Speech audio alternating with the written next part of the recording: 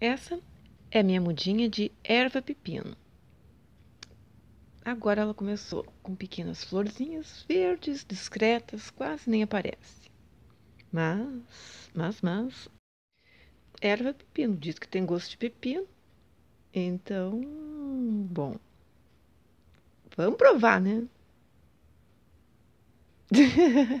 tem gosto de pepino mesmo.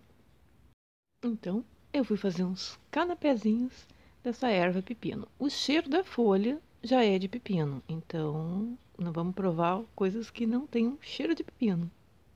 Eu fiz e dá para comer mesmo. Então, bem simples, dá para botar na saladinha. Rico em nutriente. Vale a pena pesquisar mais, não vamos se embuchar e comer ortigas. Bom, dá uma cozinhadinha antes na ortiga. Esse sim, dá para comer cru. Agora ficou bom. Bom, vamos olhar bem para não se enganar e comer ortiga.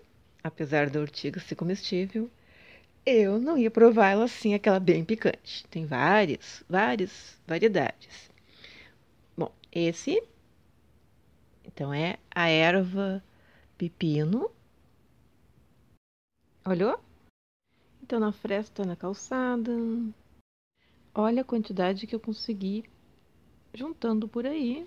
Naturalmente a gente tem que cuidar com os cocô de cachorro. Eu consegui um lugar mais limpinho. E dei sorte.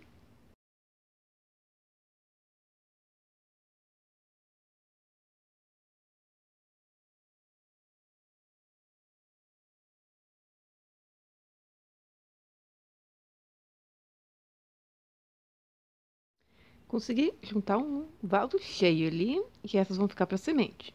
Dessas que a gente cata por aí, não dá para comer.